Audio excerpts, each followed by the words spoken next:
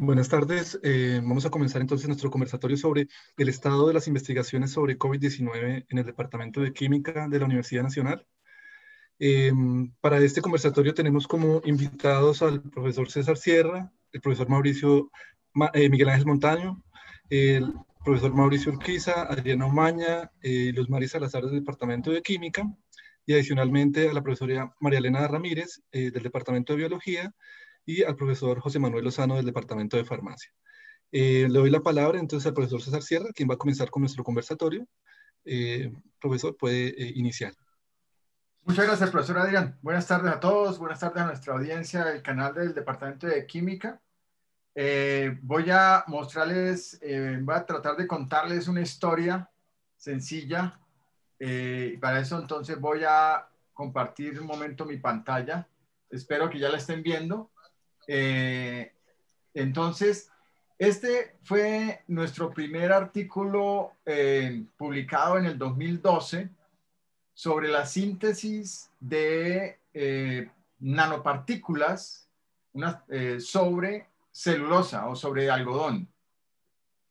En ese artículo, la, la gran contribución que hicimos fue demostrar que usted podía anclar químicamente nanopartículas a una fibra textil.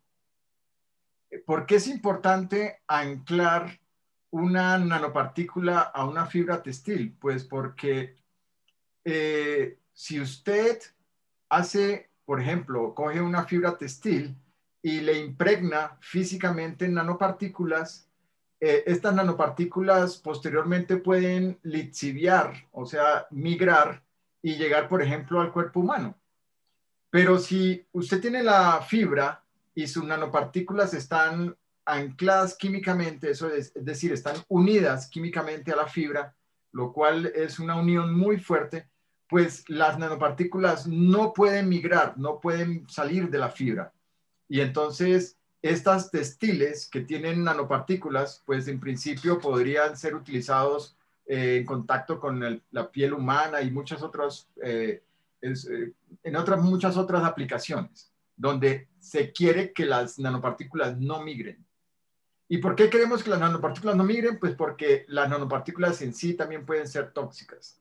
Entonces, en este artículo que les estoy mostrando, pues nosotros cogíamos cogemos nuestra fibra textil, aquí mostramos la estructura química de la celulosa, le hacemos una serie de reacciones químicas y obtenemos nuestras partículas. Y entonces luego hacemos, para que tengan una idea, aquí están los textiles y los textiles pueden tener varios colores. El color del textil lo da el tipo de metal que usemos.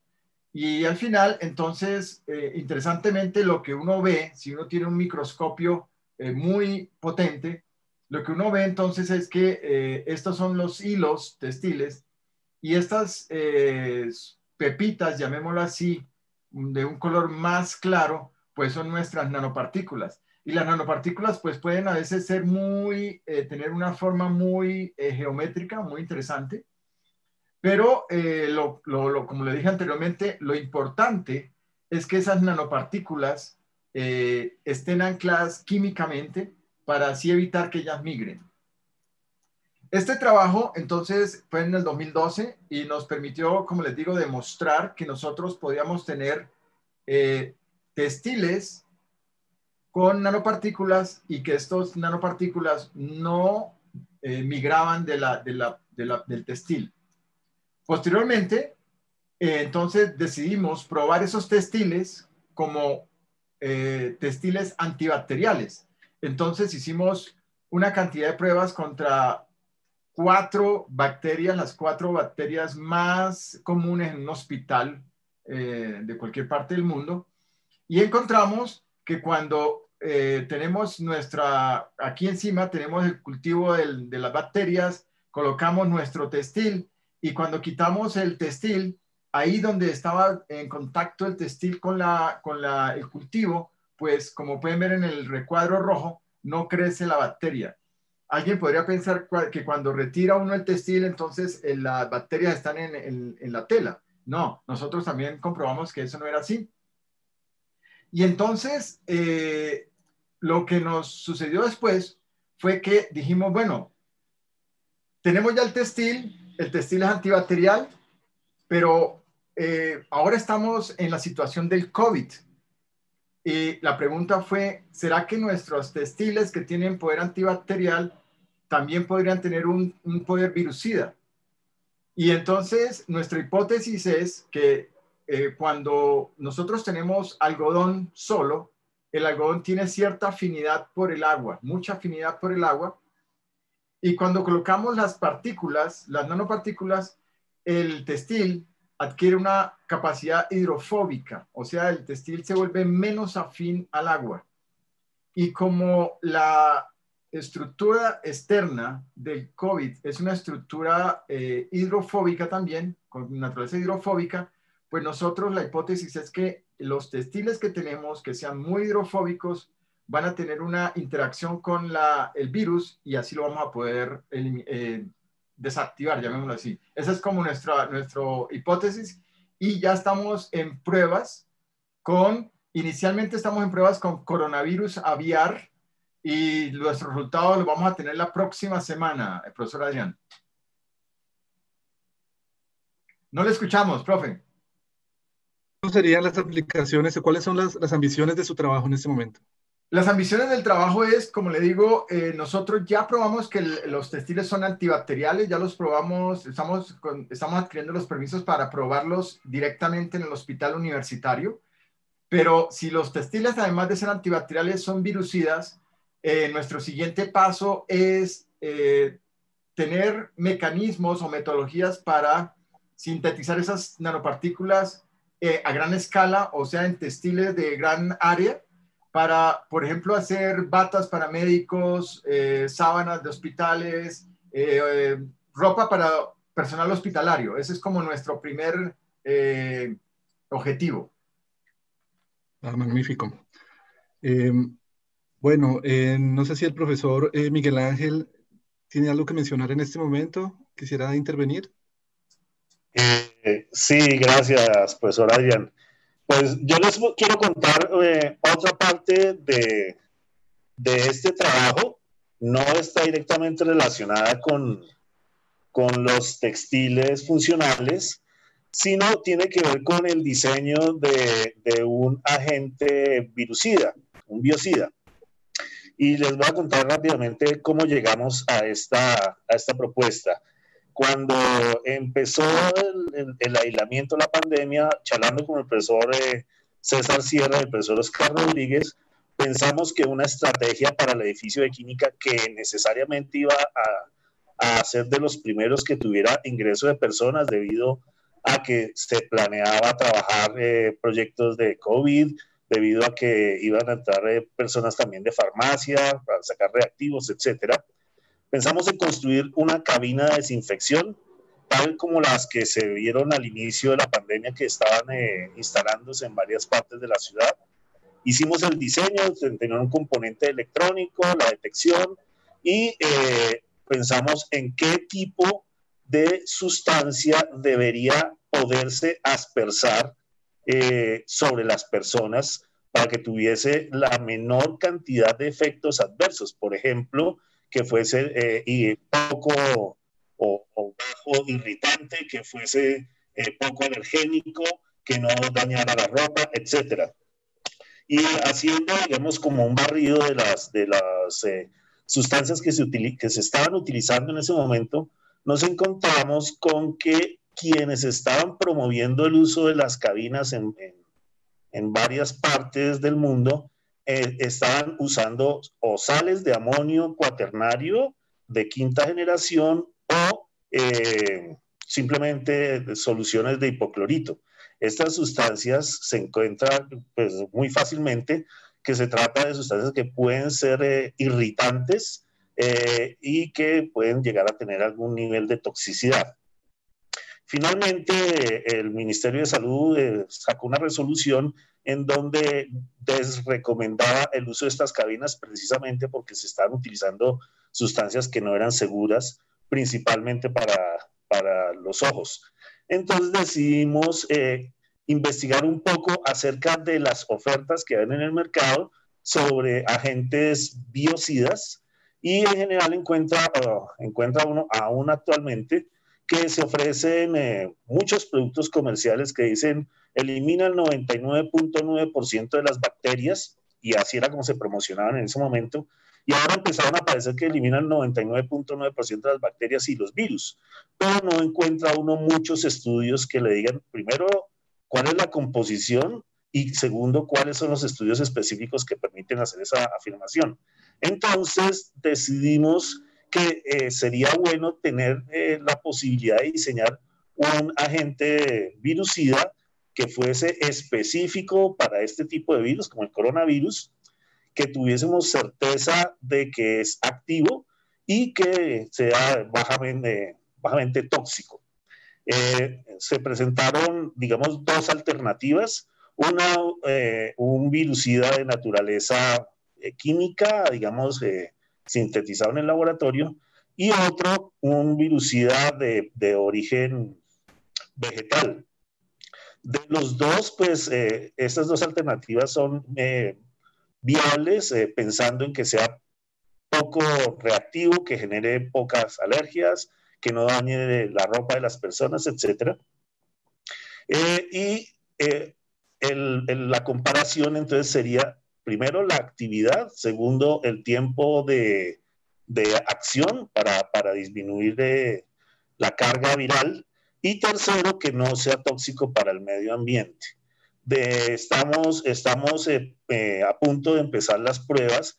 Como dijo el profesor César, vamos, no vamos a utilizar eh, propiamente el, SARS-CoV-2, sino que vamos a utilizar el, virus de la, de la influenza aviar para probar una, uno de los, una de las, de los agentes virucidas es eh, a partir de aceites esenciales, una mezcla de aceites esenciales que en otros estudios previos han mostrado alguna actividad contra otros virus, no específicamente contra coronavirus, pero vamos a, verificar si este tipo de, de, mezcla eh, también es activa, pensando en que precisamente el recubrimiento hidrofóbico del coronavirus del SARS-CoV-2 puede ser atacado precisamente por algunos de los componentes de estos extractos. Y la otra eh, posibilidad entonces también es eh, eh, un agente virucida también diseñado de tal manera que sea poco tóxico para las personas, pero que sea muy activo contra este virus que estamos padeciendo. Muy bien, profesor. Eh, profesor Montero, una pregunta.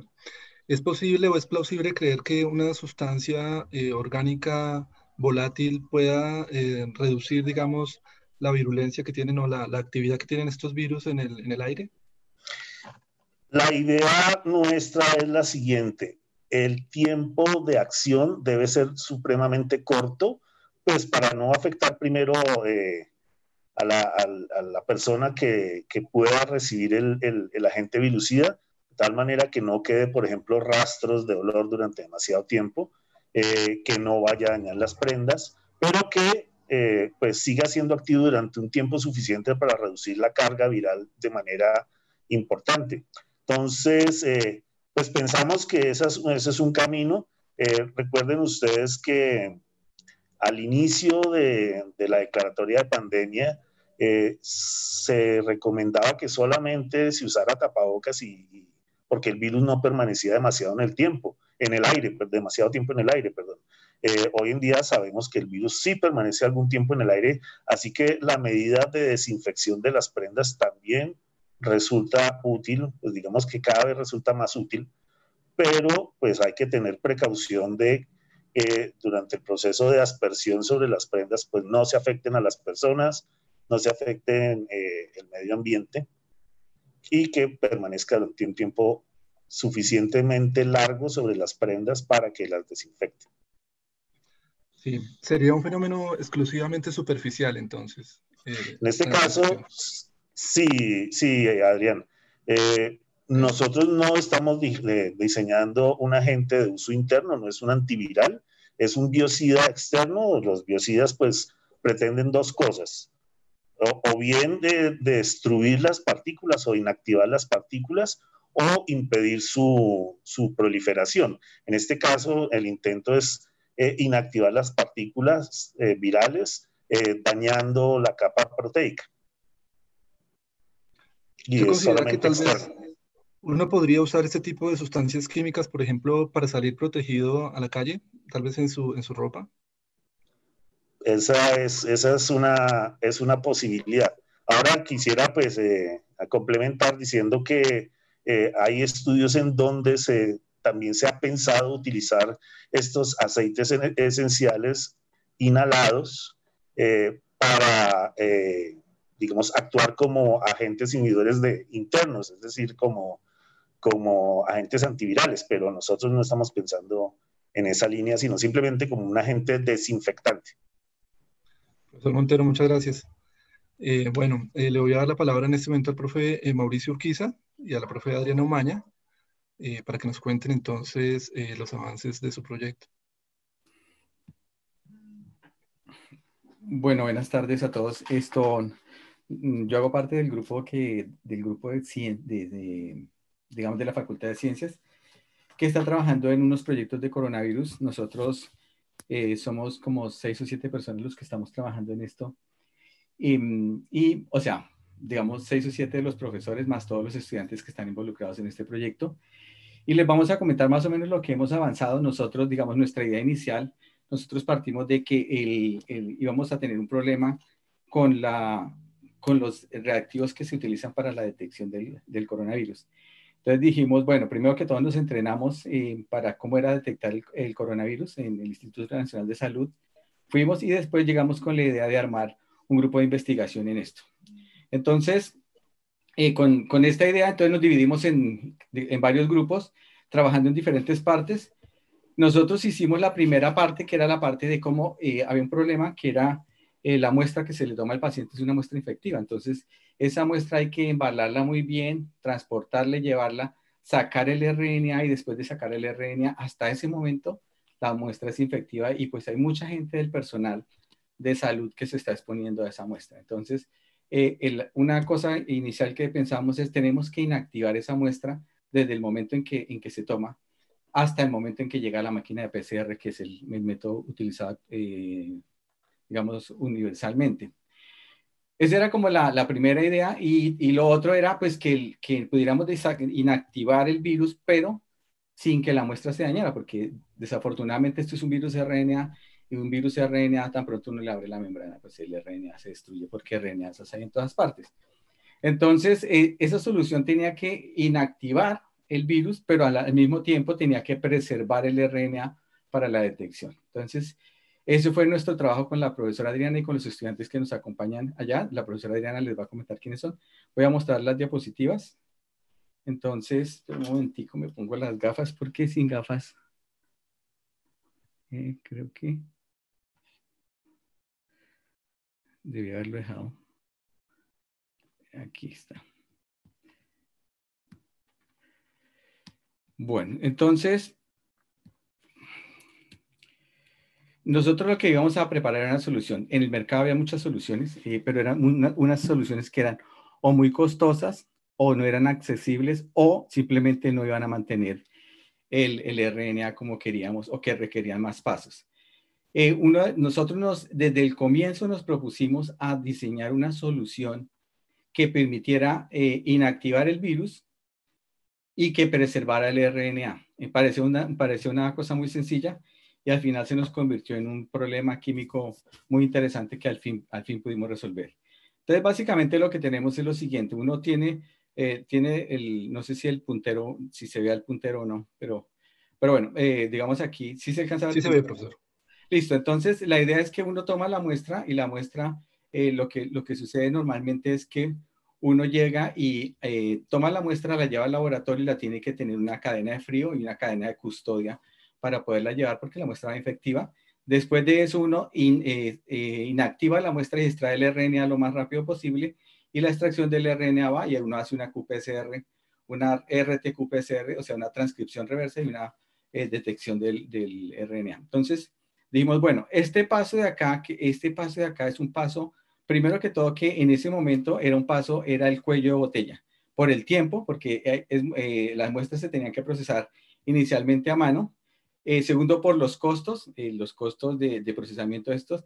Tercero, por los materiales. Los materiales, eso requería unas columnas de purificación y algunos reactivos que, que, que se fueron acabando rápidamente, pues porque el mundo no estaba preparado para esto. Entonces dijimos, bueno, ¿por qué no miramos a ver si podemos pasar desde acá, que es lo que vemos acá, derecho a la QPCR, a la RTQPCR?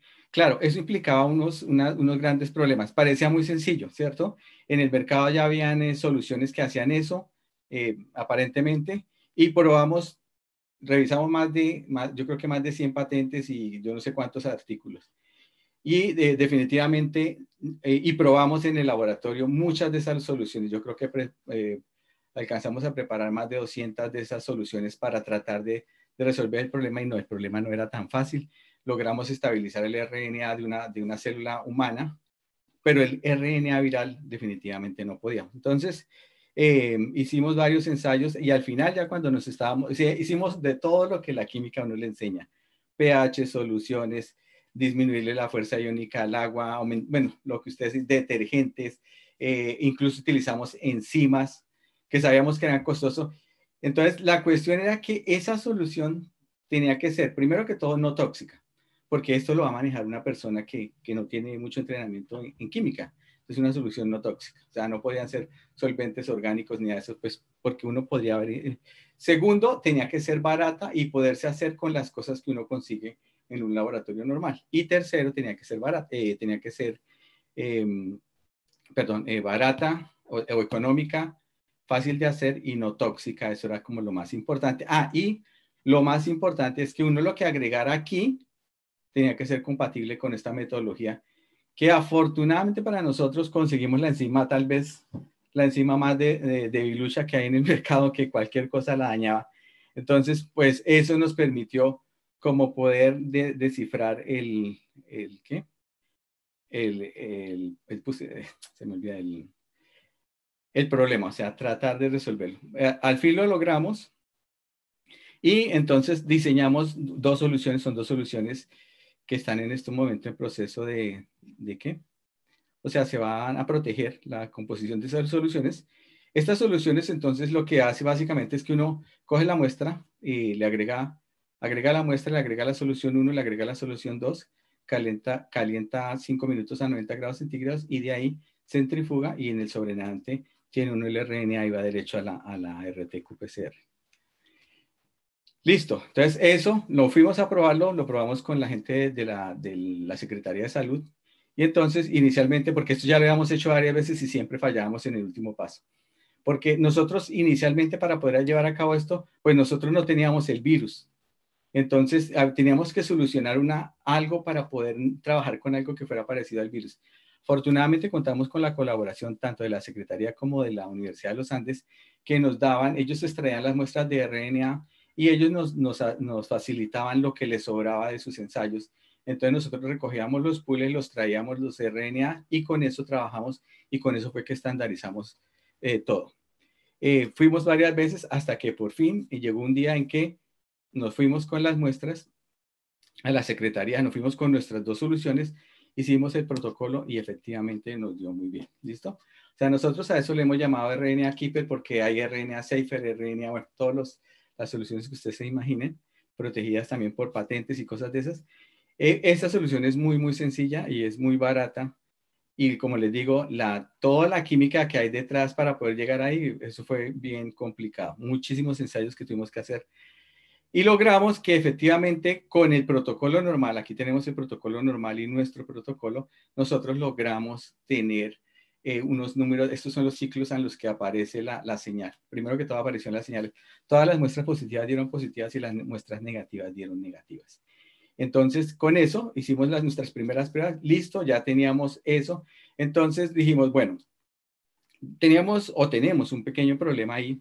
Y es que cuando usted hace la extracción de RNA, ah, bueno, durante todo ese tiempo que pasó, o esos meses que pasaron, eh, las secretarías compraron equipos de extracción, robots automatizados, más equipos, o sea, le invirtieron muchísima plata a esto. La verdad, nosotros nos tocó hacer esto con las uñas, ¿listo? O sea, nos tocó, eh, no, eh, no tuvimos ningún apoyo adicional. El, profesor eh, Aristizábal fue el que nos estuvo apoyando ahí, tratando de sacar las cosas, pero por lo demás fue iniciativa propia, sacando, eh, raspando los, los frascos de, de, laboratorio, pidiendo prestado aquí, allá. Bueno, logramos, logramos esto. Entonces, la diferencia que ustedes ven acá, esta diferencia pequeña, es simplemente la diferencia porque nuestra muestra va diluida, la muestra de ellos va concentrada. Ellos concentran la muestra, ellos cojan 200 microlitros y lo llevan a 50 microlitros en la purificación. Nosotros eh, diluimos la muestra tres veces.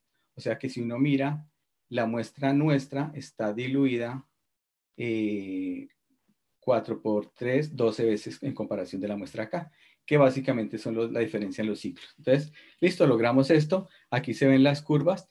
Nosotros logramos, por fin, el día que vimos esta curva para nosotros fue tal vez uno de los momentos más, más eh, emocionantes durante esta pandemia, porque eh, cada vez que hacíamos este ensayo siempre nos, nos, nos hacía regresar. El RNA es muy inestable.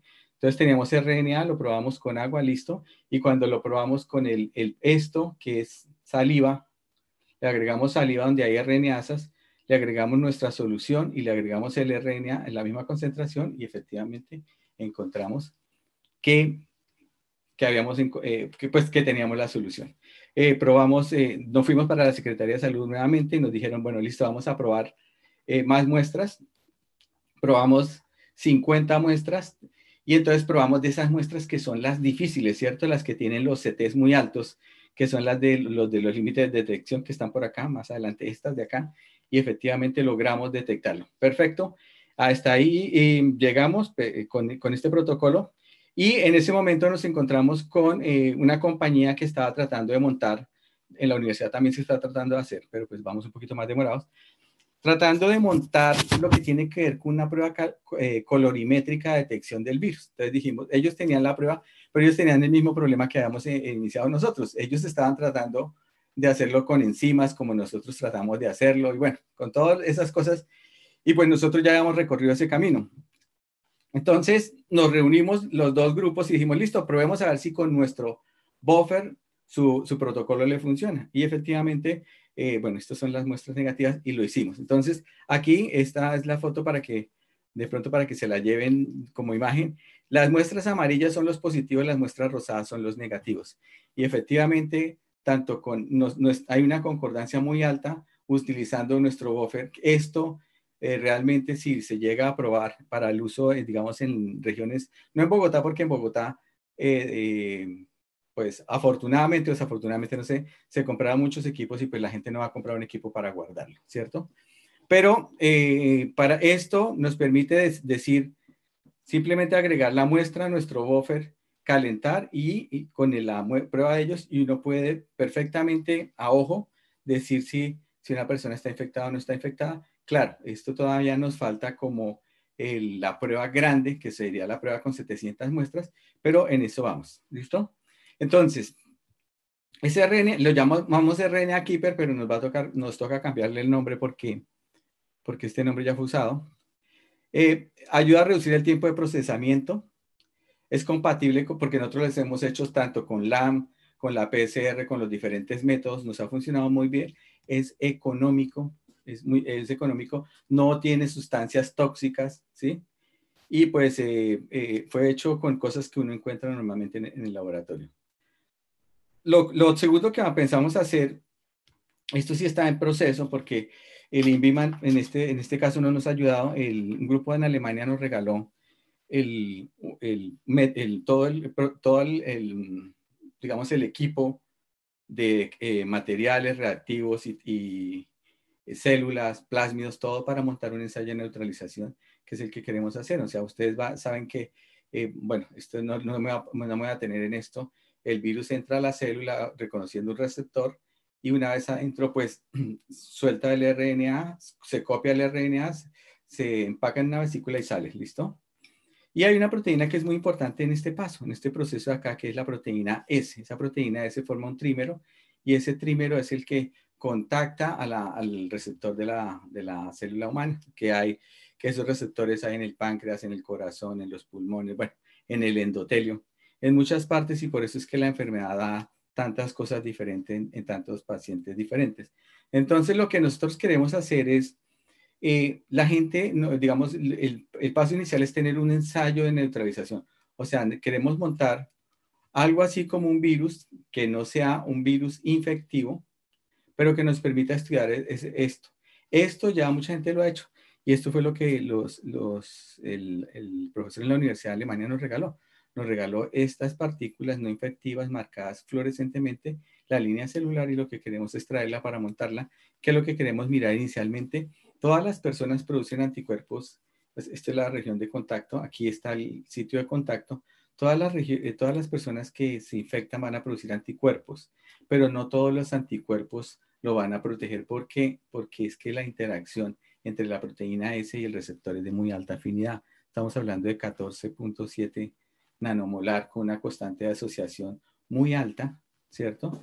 Y una constante de asociación pues baja. Entonces, en los anticuerpos necesariamente para que funcionen, no solo si uno quiere anticuerpos neutralizantes, tienen que tener una constante de afinidad o una concentración tal que impida que esto se una. Entonces, eh, ustedes eh, nos, digamos, bueno, me voy a saltar toda esta parte para mostrarle que la idea, el, vamos, pensamos trabajar con el IDBIS, con el profesor, el doctor Camacho, que ellos, ellos nos van a dar los plasmas de los pacientes convalecientes para tratar de determinar si esos pacientes convalecientes tienen anticuerpos neutralizantes, que es la idea. ¿Por qué los anticuerpos neutralizantes?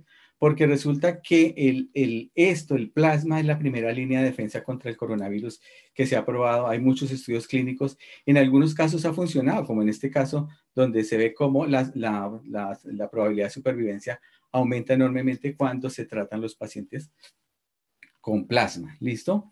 Pero esos plasmas hay que, eh, hay que eh, caracterizarlos porque no es simplemente que porque le dio el coronavirus y tiene anticuerpos, pues agregarle, porque eso, eso ha, hecho que eh, fallen algunos protocolos. Pues eso era lo que yo les quería mostrar. discúlpenme si me demoré un poquito más, pero... Tranquilo, profesor. Pues primero que todo, me permítame felicitarlo porque creo que eh, el trabajo que hicieron inicialmente eh, con la solución de un solo paso para extraer el RNA, pues es algo que es muy relevante, que los que estamos más o menos metidos en, esta área sabemos que eh, de la escasez que hubo de, reactivos y la necesidad que hubo en un momento de, reemplazar esto fue crucial y me imagino que le deseo el mejor éxito posible con, con esto y con su próxima patente que seguro, seguro la va a tener. Eh, entonces, felicitaciones para todo el, para todo el equipo, profe. Em, ¿Cuál cree usted que eh, puede ser la desventaja de esta solución? ¿Usted le dio algún problema? Pues la desventaja es la que, que, nosotros no podemos tener la muestra más concentrada, ¿no? Entonces, eh, digamos que el límite de detección se va a correr un poquito en comparación de la, de la purificación. Esa es tal vez la única desventaja que yo le veo. la solución es estable en el, en el tiempo. Eh, ¿Qué, otra desventaja podría tener? Y respecto a eso, dígame una cosa. Eh, cuando se extrae el RNA de esta manera, eh, ¿cuánto tiempo dura estable y a qué temperatura? Nosotros hemos dejado muestras en el, sobre, el, sobre el mesón y a los dos días las probamos y, y no ha perdido, o sea, el RNA sigue, sigue aún estable. No, esos son los estudios que nos faltan, el este estudio de estabilidad a largo, a largo plazo y el estudio de viaje que hablan por ahí que, que hay que hacerlo. Ok, muy interesante. ¿Y, usted considera que ese RNA sería útil incluso para otro tipo de pruebas, como por ejemplo secuenciación de última generación y... Sí, eso, sí es, eso era lo que nosotros le decíamos a la universidad cuando, pues porque la universidad está pensando como en licenciar esto. Entonces nosotros le decíamos que había que tener mucho cuidado porque es que esto, nosotros, hemos, nosotros inicialmente lo probamos con células eucariotes y lo que hemos visto es que sí, realmente estabiliza. Claro, nos falta mirar RNAs, microRNAs y cosas de ese estilo, pero hasta el momento lo que vemos es que es eh, porque inactiva las RNAs de una manera bastante potente, o sea, para algunas RNAs de esas, por ejemplo, de la saliva que son tan difíciles, o sea, usted las calienta y, vuelve a enfriar y vuelve y se activan. Eso fue, eso fue bien complicado, bien, bien, bien complicado. Ok. Y última pregunta, profe. Eh, respecto a los anticuerpos neutralizantes, ¿usted considera que se pueden producir en masa de una manera distinta si usted logra caracterizar algunos de ellos? Yo creo que sí, porque ya la metodología existe. Lo que pasa es que de pronto en Colombia no, creo que tengamos la capacidad instalada, pero se, se, puede conseguir, porque uno podría eh, tener, no sé si alguien, yo no conozco, pero puede haber alguien que tenga reactores para, para producir estos anticuerpos recombinantes y, y sería una, una, solución a corto plazo, ¿cierto? O, o más que eso, de pronto es, eh, en los últimos semanas se han encontrado que eh, en algunos casos el tratamiento con plasma ha fallado, pero ha fallado es porque los, los, los plasmas no han sido bien caracterizados. Entonces, esto permitiría eh, como que seleccionar dentro de los plasmas posibles los que probablemente tengan mejor probabilidad de éxito en la clínica. Y podría uno pensar de pronto en la purificación de los anticuerpos derecho del plasma para tratarlos como, como se hace con lo, por ejemplo, con el suero antiofídico y cosas de esas. Ok. Pregunta eh, José Villarreal. ¿Es, ¿Es, posible purificar entonces el RNA por medios convencionales para mejorar la concentración para la secuenciación? Sí, o sea, esto, nosotros, por ejemplo, probamos el RNA later, no nos funcionó con el RNA viral. Probamos el RNA chill, no nos funcionó con el RNA viral. O sea, probamos todas las soluciones que a uno le venden y que son costosas y que después de que uno mira la composición dice, ¿de, verdad pagamos tanta plata por esto? Porque, porque es como, era un, y además no hay información, ¿no? Usted busca y busca y busca, todo está guardado bajo secreto industrial y cosas así, y, y la verdad ya nos íbamos como desanimando cuando por fin apareció la, la respuesta. No, lo felicito, profesor. Eh, muchas gracias. No, muchas gracias a ustedes y Adriana les va a terminar de contar lo que, lo que estamos haciendo. Perfecto. Hola, buenas tardes, Adrián. Buenas tardes, Adriana, ¿cómo estás? Bien, gracias. Gracias por la invitación. Yo sé que eh, Mauricio hizo un paso detallado por nuestro producto estrella, pero quiero contarles eh, o rápidamente también un poquito sobre otras cosas que nos fueron saliendo a medida que, que tuvimos que prepararnos para esta solución que estamos ahora presentando. Entonces, realmente nosotros comenzamos, como mencionó Mauricio, eh, por lo menos en mi caso, con una llamada del decano que sí quería participar de la capacitación que daba el Instituto Nacional de Salud. Y luego, pues un poquito presentándonos a las diferentes convocatorias. Entonces, pues tenemos estos proyectos asociados a la implementación de estrategias, sobre todo para la detección. Entonces, un poquito lo que les mencionaba eh, eh, Mauricio. Nosotros nos encontramos que teníamos que estar en esta primera parte de poder contar con algo como extraer el RNA. Pero a la par de eso, pues nos vimos con otra, eh, digamos que con otro talante que teníamos que abordar y era que en el laboratorio, como no podíamos depender de otras personas, pues generar un método y aprovechar nuestra experiencia en bioquímica analítica para que pudiéramos detectar ese RNA viral que nos estaban facilitando y con el cual podíamos probar las soluciones. Entonces nosotros en el laboratorio contamos en este momento con un método optimizado de PCR que nos permite hacer la detección del virus, pero pues obviamente también de pronto como mencionaba Mauricio, pues que no teníamos todos los recursos, entonces nos fuimos por una técnica que es más económica, aunque podamos perder un poquito de sensibilidad, que es utilizar eh, Cyber o QPCR con Cyber en vez de utilizar sondas específicas de tipo fluorogénico. Entonces nos enfocamos, pasamos también por un recorrido de trabajar con varios genes de los que están reportados, pero nos quedamos con este gen eh, expresado de manera viral porque encontramos que tenemos unos resultados muy limpios, muy sensibles, en donde ya en este momento, pues tenemos un nivel de detectar de alrededor de eh, cuatro copias de material viral. Como ustedes pueden ver aquí, en verde entonces o en azul, tenemos RNA proveniente de muestras de pacientes que ya habían sido confirmados en otros lados y por tanto pues eh, conocemos que tiene el material viral comparado con un control negativo efectivamente que ven aquí en la línea de abajo o que es comparable a lo que veíamos con un control sintético. Entonces, pues fue, eh, digamos que una manera para probar nuestras soluciones, pero también se ha convertido en una herramienta que va eh, de apoyo con el grupo eh, que mencionaba, que, pues que yo lo llamé COVID, Facultad de Ciencias, que reúne a varios profesores liderados por el profesor Fabio Aristizábal y que busca mantener o establecer un kit in-house, así como ha habido otras estrategias también en Colombia o en el resto del mundo, y necesitábamos hacer un, o tener un sistema para evaluación de enzimas recombinantes que particularmente pues se están produciendo eh, en cabeza de la profe María Elena Ramírez en el laboratorio del LIBIC. Entonces hemos tenido pues un enfoque analítico en este caso y es comparar las enzimas que se están produciendo en Universidad Nacional frente a sistemas comerciales ya muy bien establecidos. Eh, pues a los, con los que contamos.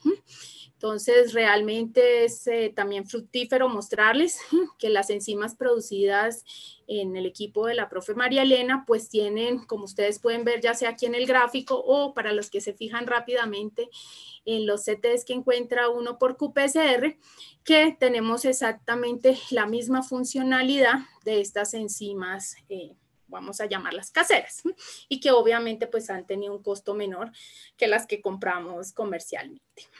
Eh, sin embargo, también al inicio de la pandemia nosotros nos propusimos, ¿qué pasa si nuestra solución no funciona?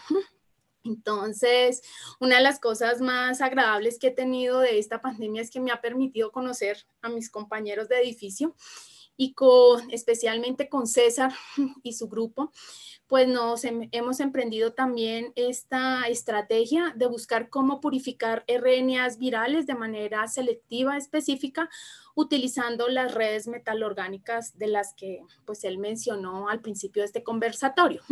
Es un proyecto que eh, hasta ahora estamos comenzando, pero que esperamos que también fructifique exitosamente. Eh, y, que realmente en aquellas muestras que probablemente tengamos problemas de concentración, pues realmente esta estrategia nos complemente la solución que tenemos. Y pues realmente para mí se han sido seis meses de arduo trabajo dentro del laboratorio, pero así como mencionaba Mauricio, pues obviamente no hemos estado solos, tenemos un equipo de los chicos que llamamos que quien quería participar. Eh, pero también pues quiero aprovechar porque no, hemos tenido mucho la oportunidad y es que este camino ha estado lleno de personas que nos colaboran en el departamento de química. Realmente todo este crecimiento me mostró a mí que la sección del área de bioquímica realmente puede sacar muchas cosas adelante porque los profes realmente me abrieron sus laboratorios, nos lo abrieron al equipo de trabajo con realmente con una facilidad eh, que me sorprendió. Entonces aquí ustedes ven y obviamente los profes que hacen parte del grupo de COVID en los cuales hemos tenido logros, pero también nos hemos dado ánimo en aquellos momentos en que no hemos podido realmente eh, o, o, que nos hemos encontrado con dificultades en el camino. Yo quería ser un poquito corta, contarles un poquito de lo que hemos hecho y, y pues realmente darles las gracias a todos por esta oportunidad. Muchas gracias, Adriana. Hay una pregunta en el chat de eh, José Miguel Villarreal. Dice, ¿y ese gen tiene baja tasa de mutaciones con respecto a las secuencias mundiales, eh, especialmente en la sección de unión de los oligos? Eh, sí, nosotros parte de la escogencia en este gen y a diferencia pues de otros que se han reportado es que se ha observado esa baja mutación. Yo esta mañana miraba parte de, pues, de los especialistas en, en otras tipos de conversatorios y efectivamente lo realzan por eso, por la baja tasa de mutación que presenta. Ah, muy bien. Listo. Adriana, muchas gracias por, por aceptar la invitación a este conversatorio. Eh, le voy a dar entonces la palabra a la profesora Luz Mari Salazar.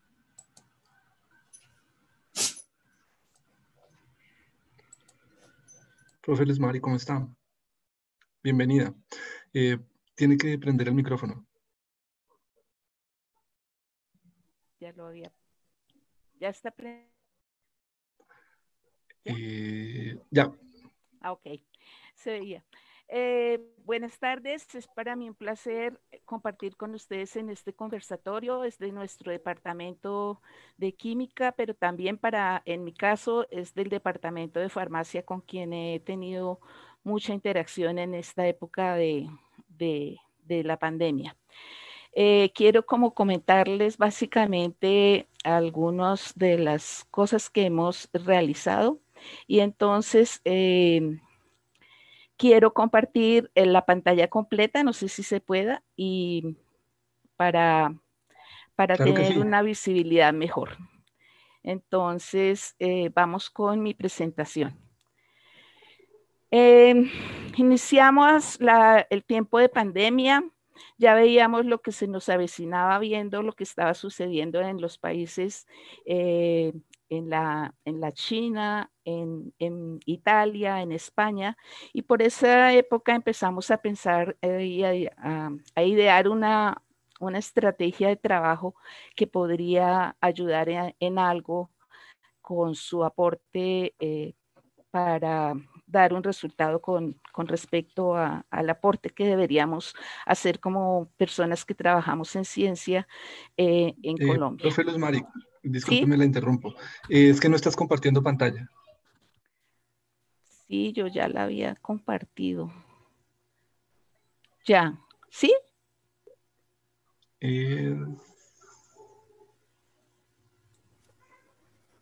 ¿Ahí? Eh, Luz Mari, por favor, abajo en la en el menú. Sí, ahí, en el verde. Sí, le hacen el verde, dale clic ahí. No, no entra. Yo lo primero que hice. Es que tienes que darle ahí y ahí te aparecen todas las opciones, todos los iconos donde puedes escoger la ventana que quieras. No, aún no. Ya estás compartiendo. Gracias.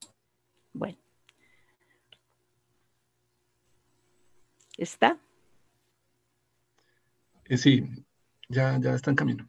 ¿Ya? Ya. Ahí, ¿sí? Sí. Bueno, eh, ya le había dado, no sé qué pasó.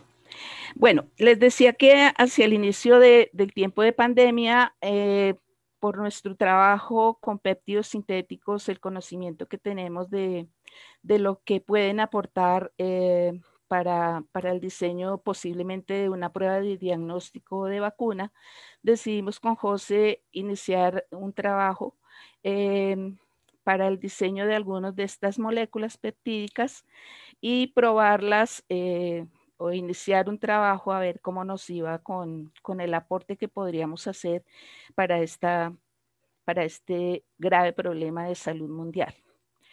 Eh, inicialmente, em, diseñamos más o menos unos 30 péptidos. Eh, se usó eh, muchas técnicas de búsqueda de las posibles secuencias que íbamos a sintetizar.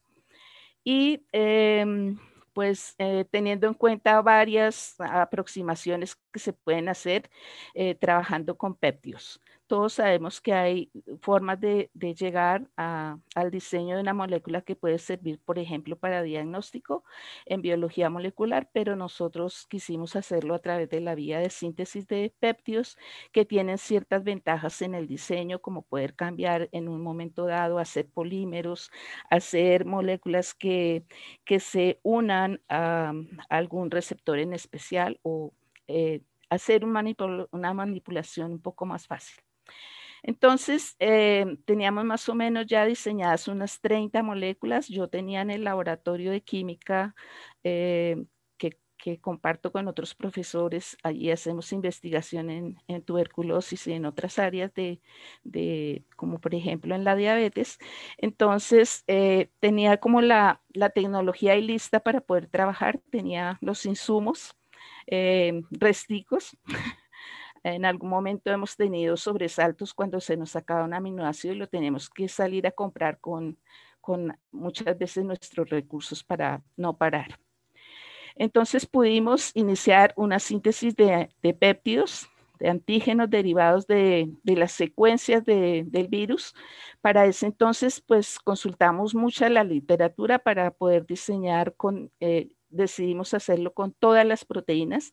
Eh, la mayoría de, personas trabajan con la proteína S, con la proteína de la membrana, con la proteína eh, de la, de la nucleocápside y nosotros decidimos hacer una búsqueda en todas. Diseñamos, como les digo, más o menos unos 30 péptidos y iniciamos la secuencia de los primeros 15 a 20 péptidos.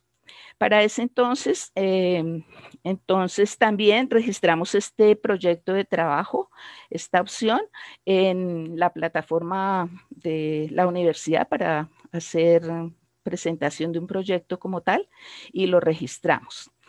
Por ese momento ya estábamos bien adelantados en la secuencia y en la síntesis cuando se nos apareció la Virgen y hubo un proyecto más grande a través de la Facultad de Ciencias en el cual el profesor Aristizábal comandaba un grupo para la generación de la capacidad técnica para fabricar mediante procesos de biotecnológicos reactivos y versiones in-house de kits diagnóstico logramos entrar en este equipo de trabajo. Somos, como dijo Adrián eh, Yadi y como dijo Mauricio, eh, somos un grupo pequeño, pero todos dedicados a lo mismo. Una búsqueda de moléculas que pudieran servir para detección, diagnóstico y manejo molecular de la enfermedad. Entonces, cada uno con su, con su enfoque logramos eh, terminar la primera síntesis. Eh, una cosa muy importante es que a través de, hacernos parte de este grupo y de este proyecto que también fue registrado en la plataforma de Hermes eh, por el profesor Aristizábal, entonces pudimos tener el acceso a poder trabajar. Yo soy una persona mayor, entonces tenía restricciones para, para entrar a la universidad, pero tuve un permiso especial por toda esta época. Eh, tengo que reconocer ahí también el aporte de la vicedecanatura de la facultad a través del profesor William Herrera, quien nos me ayudó particularmente a mí para que yo siempre pudiera estar trabajando y a veces en unas jornadas bien largas de trabajo porque la síntesis demanda bastante tiempo y si estuviéramos haciendo eso en esta época, pues con horarios restringidos no podríamos adelantar nada. Logramos hacer entonces los primeros péptidos y teníamos que probar estas moléculas. Empezamos a tocar puertas, nos tocó José principalmente, eh, yo por otro lado con otras conexiones y entonces a buscar dónde podíamos probar nuestras moléculas. En ese paso de solamente partiendo de la síntesis, teníamos que purificar, teníamos que liofilizar y por eso digo que el departamento de farmacia fue fundamental. Allí pudimos liofilizar, hicimos la cromatografía HPLC para purificar las moléculas. en algún momento nos tocó adquirir y comprar balas de oxígeno, lo hicimos con nuestro propio dinero. Todavía tenemos por ahí las deuditas, pero nuestro nuestra meta era llegar a algo. Logramos purificar estas moléculas y ya estábamos para ver dónde empezamos pruebas biológicas para ver eh, para qué nos servían. En ese momento eh, se intentaron, como les digo, conectar a varios grupos que tenían muestras que estaban trabajando en COVID, pero decidimos ir a la cabeza del Instituto Nacional de Salud y gracias a Dios allí estaban también trabajando con unos péptidos que habían diseñado eh, de unas secuencias propias de Colombia y habían diseñado unos péptidos eh, cuando hicieron la secuencia de la primera persona que se infectó en Colombia o que llegó de Italia en un avión, eh, secuenciaron el, el virus del DNA de esa persona y entonces teníamos ya una información de, nuestro país específicamente y de, la, de dónde íbamos a partir para muy probablemente iniciar pandemia en nuestro país.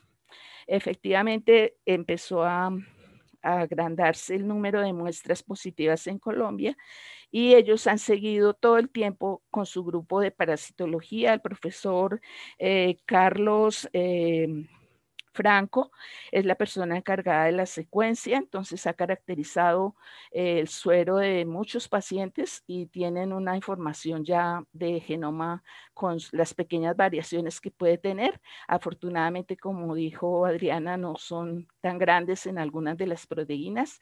Ellos habían diseñado péptidos de la nucleocápside y de la proteína S, pero eh, nosotros, como les digo, quisimos integrar otras proteínas a nuestro trabajo.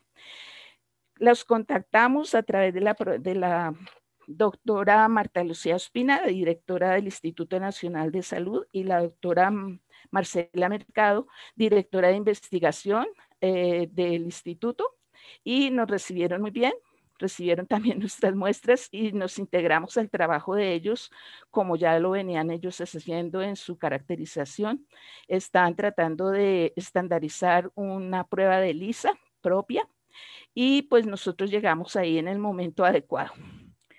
Em, eh, de estas moléculas que nosotros sintetizamos y de las de ellos se hicieron pools y el resultado fue fabuloso, fue muy bueno.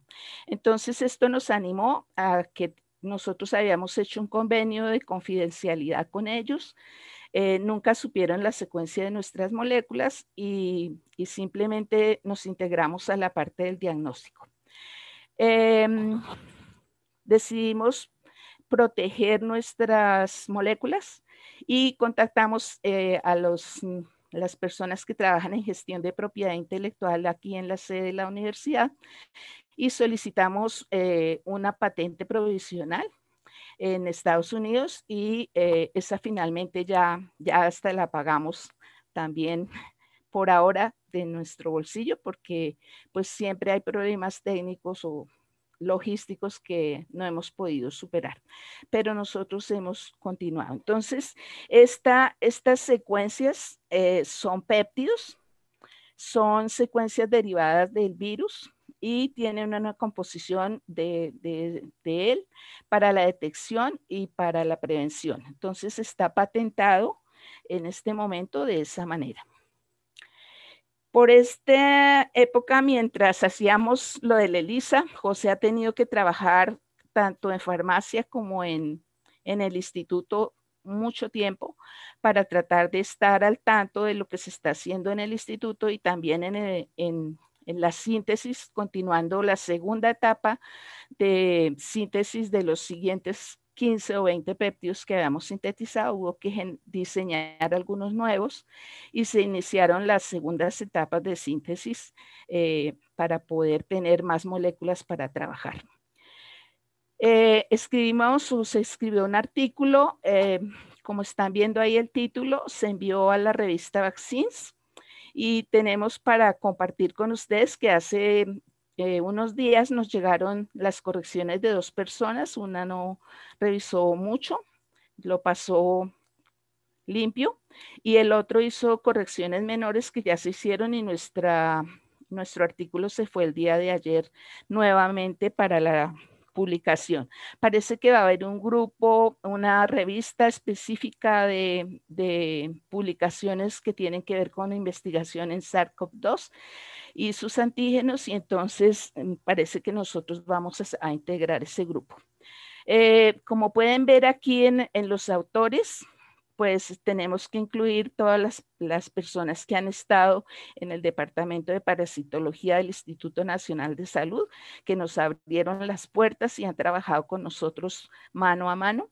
Y entonces fueron integrados, obviamente. Y le debemos un gran reconocimiento a nuestro profesor Fabio Aristizábal, quien fue el, generador de un convenio a través de la facultad y con el cual nos pudimos integrar y hemos podido movernos eh, dentro de la universidad para poder continuar con el trabajo. Em, em. por, este, por esta época, en el instituto, dime. Dime. Sí, el profe Mari, te iba a hacer una pregunta. sí. Em, hay una pregunta en el chat de Oscar Javier Acevedo. Pero si quieres, esperamos y... ¿Cuál sería la proyección? Bueno, listo, listo. Bueno, esperemos al final. Bueno, en el Instituto Nacional ellos están muy interesados en, en diagnóstico, en generar eh, unas pruebas colombianas para el servicio de nuestro país están empeñados en hacer un estudio de cero prevalencia para, nos, para nosotros, para nuestro país. Han secuenciado muchos sueros eh, del orden de ciento y pico y ahorita están en, en, una gran cantidad mucho mayor para ver en dónde han mutado, en dónde se han generado cambios en, en la secuencia de, de digamos, eh, que detecta o que con las pruebas que se están haciendo están detectando la, infección. Entonces, eh, para ellos fue fundamental eh, estandarizar la prueba de lisa eh, adecuadamente con los péptidos. nosotros integramos también no solamente monómeros, sino que hicimos polímeros y tienen un peso molecular pues mm, más alto que tiene ciertas ventajas para ser presentado al sistema inmune. Nosotros presentamos, como les dije, estamos haciendo el trabajo con péptidos derivados de todas las proteínas, de la S, de la M, de la E, de todas las proteínas en particular.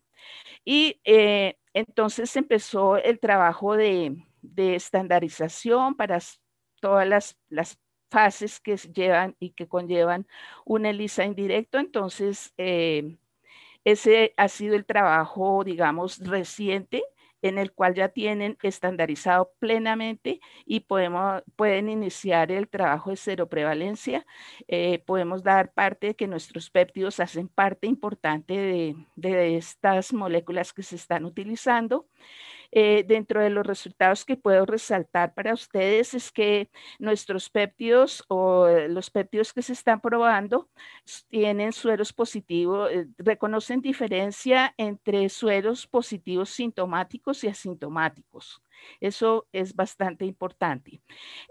tenían sueros de pacientes antes de, la pandemia y, y obviamente de toda esta época eh, y se han ido probando. En la estandarización de la prueba de la ELISA, pues eh, se han logrado algunas cosas bien importantes como la discriminación diagnóstica y las características operativas de esa prueba y podemos asegurar que hay una sensibilidad en la detección del 91% y una especificidad del 91% también. El lanzamiento del, plan de trabajo del Instituto Nacional de Salud eh, fue lanzado hace un, más o menos un mes en Leticia.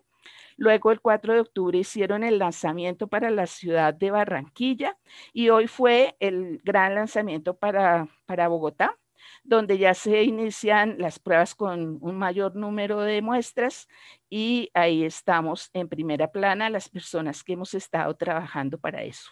El, el doctor Carlos eh, Franco es la persona que se ha encargado de la secuenciación. Eh, las personas que trabajan en, la prueba de diagnóstico, en el ISA y en la caracterización, pues todas hacen parte del, grupo de trabajo de parasitología del Instituto Nacional de Salud y José Manuel y yo eh, de parte de la Universidad Nacional.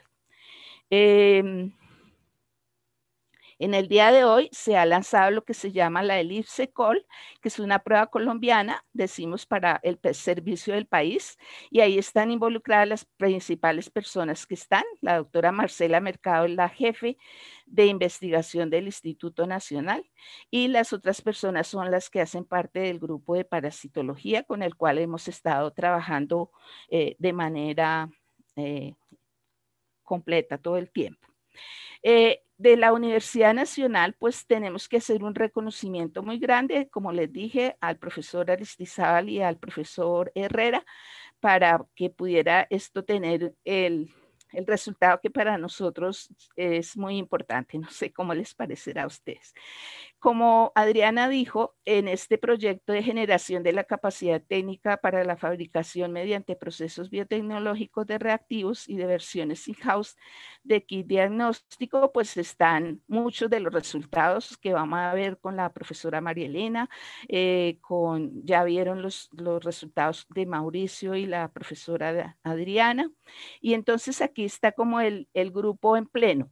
La universidad se ha manifestado mucho en esta época y, ha tratado de hacer su aporte en ciencia para un problema tan grande en nuestro país. Por ejemplo, es de reconocer el trabajo del profesor Javier eh, Javier Rosas del Departamento de Farmacia, quien ha em, provisto, ha em, dado el gel antibacterial para el hospital universitario durante todo este tiempo.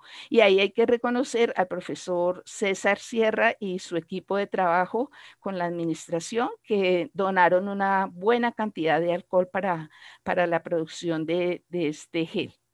Eh, aquí están entonces todas las personas que han estado todo el tiempo con nosotros, la doctora, la profesora Nubia Estela Mata del Departamento de Biología, junto con la profesora María Elena, eh, Yadi Umaña y Felipe Sarmiento, también del Departamento de Biología. Y em, a raíz de que yo soy una persona mayor y cuando se implementaron todos los protocolos mm, de bioseguridad, ¿sí? Y qué pena cortarla. Dime. Nos queda poco, nos queda poco tiempo. Ya, ya eh, estoy con la última. Entonces, nos tuvo, tuvimos que integrar a una persona que también tiene PH eh, en química y es experta en síntesis de péptidos debido a que yo no pude continuar eh, para la síntesis de las moléculas. Listo. profe, tenemos una pregunta breve. nos preguntan qué hace falta para que este tipo de pruebas lleguen a los lugares más ah, distantes del, de la nación. Nos preguntan acá. Esa es una de las cosas más importantes que se ha logrado. La prueba de LISA es una prueba que se puede implementar aún en las poblaciones más pequeñas de nuestro país y podría ser trabajada, eh, por eso se hizo el lanzamiento en la ciudad de Leticia y recientemente se va haciendo en todas las ciudades de Colombia. Eh, bueno, última pregunta, esta es de mi parte. Eh, se ha hablado mucho de la eficiencia de las pruebas, sobre todo de las diferencias entre la PCR con la prueba de antígeno y la prueba de anticuerpos, ¿cierto? Sí. Eh, ¿Usted tiene idea en este momento de cuál es la, la eficiencia que tienen las pruebas que están desarrollando en comparación, por ejemplo, con la prueba PCR? En, el instituto tienen datos exactos de la caracterización de, los sueros de Colombia frente eh, y la comparación con los kits que se utilizan a nivel nacional. Y entonces yo le, para darle el reconocimiento que se debe al profesor José Manuel Lozano, entonces le cedo la palabra para que él eh, nos aporte con esto. Okay.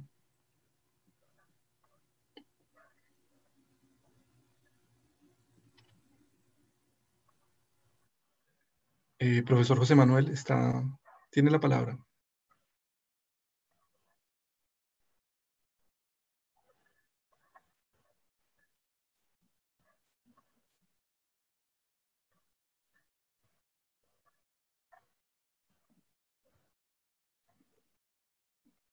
Mm. Eh, no sé, parece que perdimos comunicación con el profesor José Manuel.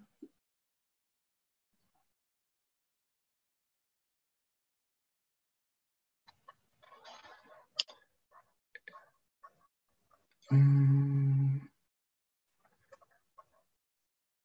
Profe José Manuel, ¿está por ahí?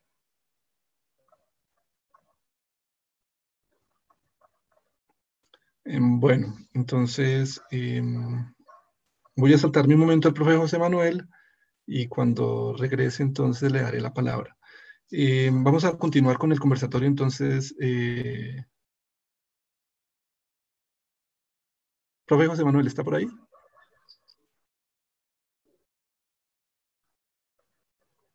Eh, profesor José Manuel, ¿me escucha? Creo que tiene el micrófono apagado.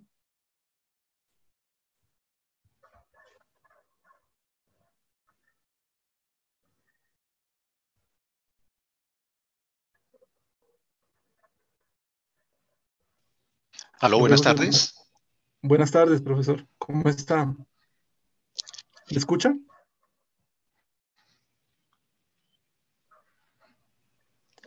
Eh, profe José Manuel, eh, si quiere... Eh, sí, buenas tardes, ¿me escuchan? Buenas tardes para todos. Sí, lo escucho, Adrián. perfecto. ¿Puede prender la cámara? Sí, Aló, ¿me escuchan ustedes a mí? Sí, parece que con un delay.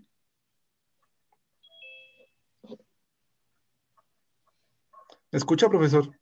Nosotros sí lo escuchamos. tengo problemas técnicos con el computador. Tengo, tengo problemas técnicos con el computador, pero pues, si quieren por el audio, con mucho gusto. Sí, sí lo escucho, Adrián. Sí, continúe, profesor, entonces.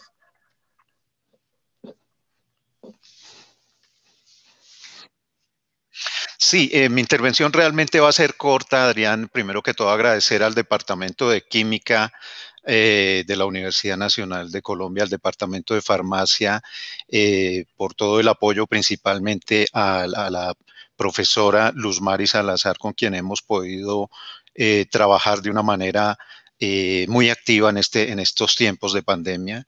Y pues sin esa colaboración, y esa, sin esa participación activa, hubiera sido muy difícil el adelantar las los diferentes cosas relacionadas con el proyecto, eh, es importante eh, lo que decía la profe Luz Mari, eh, destacar también, lo, mismo lo dijo la profesora Adriana y el profesor Mauricio, el grado de dificultad ha sido muy alto, muy alto desde los permisos mismos para la entrada al campus como a otros niveles.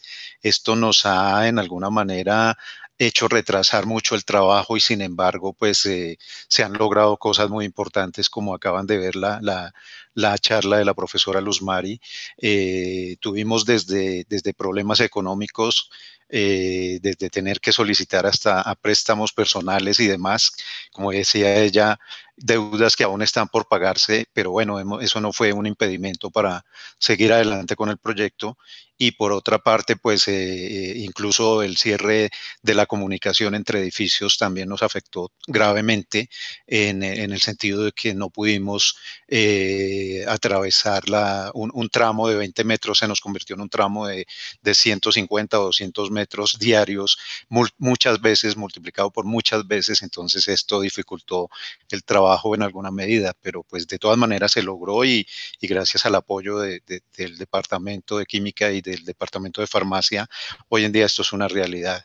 Eh, es, e, era básicamente para complementar un poco lo que dijo la profesora Luz Mari, el, el, el diseño de las moléculas se llevó a cabo en, los momentos más críticos de la pandemia. Eh, una vez se reportó el genoma del aislado colombiano eh, de una chica proveniente de Italia que llegó a Colombia el día 3 de marzo y ellos publicaron la secuencia eh, a los 15 días, el día 18 de marzo y gracias a eso pues se dio el avance que necesitábamos o el input de, información básica necesaria para poder avanzar en este, en este proceso respecto a la, posibilidad de implementar esta prueba en el país, eh, esto tiene una serie de bemoles eh, grandísimos. Primero, pues la, construcción de los péptidos, la síntesis requiere espacios configurados de una manera adecuada. Eh, los cuales pues tenemos en condiciones iniciales, pero se requiere una infraestructura un poco más elaborada.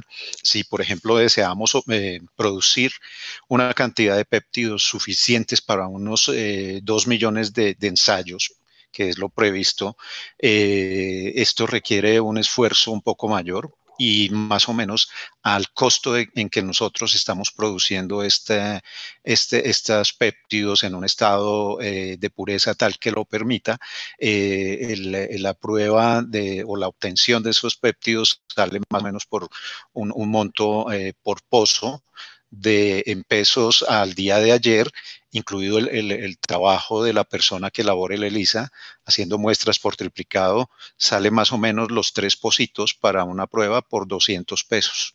En, una prueba internacional, en una prueba estandarizada en otro país, en, Estados Unidos, este mismo ensayo con otros antígenos eh, sale más o menos eh, a pesos también de, ayer, colombianos, eh, por unos 500 a 700 pesos.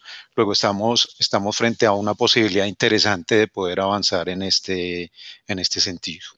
Eh, yo voy finalizando la, intervención. Por favor, disculpen por los problemas técnicos, pero con mucho gusto estoy abierto a, cualquier pregunta relacionada. Muchísimas gracias a todos por su, por su asistencia. Perfecto. Profesor, le había hecho una pregunta a la profesora Luz Mari eh, relacionada con la eficacia que tiene este método en comparación con la prueba de PCR. Eh, está claro que económicamente es mucho más viable, ¿cierto? Eh, teniendo en cuenta la importancia que tiene. ¿Qué me puede decir al respecto? Bueno, el, PCR se utiliza para diagnóstico, más no para detección. Es decir, se, se, utiliza para el diagnóstico de que una persona haya o esté, tenga alguna carga viral, así sea mínima. Ese es el valor importantísimo de la PCR, el eh, ensayo que no se puede reemplazar por otro. Ese ensayo es muy importante y, y, no se puede comparar con el ensayo de detección de anticuerpos. Este ensayo de detección de anticuerpos no, lo que nos está mostrando es que si una persona ha estado en contacto con el virus y el virus es capaz de dejar un rastro inmunológico eh, manifiesto a través de la presencia de anticuerpos, cuerpos frente a todas estas proteínas. Eh, eh, el diseño de los péptidos permite precisamente eh, establecer esa, esa cero prevalencia a nivel nacional respecto a la, al poder de la sensibilidad de la prueba está en el 91%, eh, entre el 91 y el 95%, lo cual hace que la prueba sea muy confiable. Entonces son dos pruebas distintas, una la detección por PCR y otra la, detección de cero prevalencia en, en pacientes, en personas colombianas que hayan tenido contacto con los linajes del virus responsables de la infección en nuestro país. Y una última pregunta, profesor. ¿Este tipo de pruebas que está desarrollando se pueden ver afectadas por eh, los cambios en las nuevas cepas que están apareciendo ya en Europa recientemente? Bueno, eh, eh, un aspecto epidemiológico de importancia es ese, profesor Adrián. Eh, estos nuevos brotes que seguramente van a continuar, vamos a tener un segundo, un tercer y posiblemente un número eh, finito de, rebrotes, se van a ir presentando periódicamente a medida que la gente vaya teniendo mayor contacto social. Luego, la, la, presencia de que de cepas o de variantes genéticas del virus va a determinar si los procesos de mutación fueron muy grandes, pero resulta que este virus, como lo, hemos aprendido recientemente, él tiene una tasa de mutación menor que otros virus. Luego, el, uso de una prueba que se aplique en Colombia eh, basándose en, zonas de los antígenos que sean eh, representativos no solo de la población colombiana, sino de otras partes del mundo, hace que esta prueba se pueda universalizar en un futuro. Entonces, de allí la versatilidad de, de, del diseño de las secuencias que se deseen para la implementación de esta prueba. Muchas gracias, profesor. Eh, bueno, no tenemos más tiempo para preguntas, entonces eh, me tengo que despedir. Eh, voy a pasar ahora con la profesora María Elena y le agradezco mucho, profesor José Manuel, por su intervención. Con mucho gusto, profesor Adrián. Muchas gracias. Que esté muy bien. Gracias. Hasta luego, profesor. Profe María Elena, buenas tardes, buenas noches ya.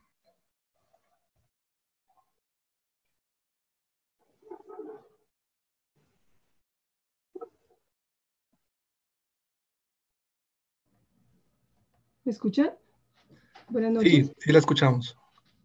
Bueno, eh, para mí es realmente muy grato poder estar aquí eh, en, el, en, el, conversatorio de, de química eh, antigua profesora durante 10 años de, de, química y, esperen, y activo mi cámara, no sé dónde activarla, dónde la puedo activar, esperen.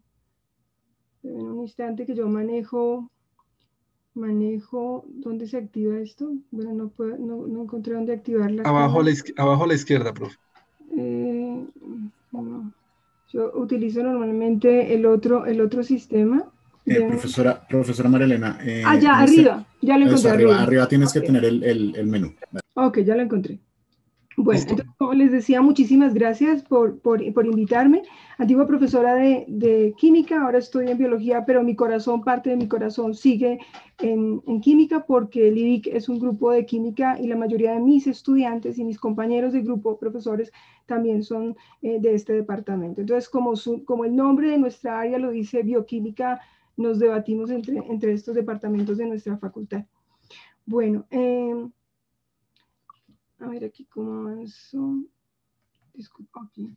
Bueno, eh, realmente el IBIC y la pandemia se llama esta diapositiva y es un poco como lo que nosotros hemos desarrollado, ¿cierto? En el grupo durante eh, más de, el grupo es, ya tiene mucha, mucha trayectoria, pero eh, mi estancia es ya, ya son como 15 años que estoy en la, en la universidad y durante ese tiempo eh, nos hemos enfocado en el estudio de parásitos protozoos de alta incidencia en la salud pública, Leishmania, Yardia, Tripanosoma, es lo que estudiamos eh, normalmente y nos enfocamos en investigación básica.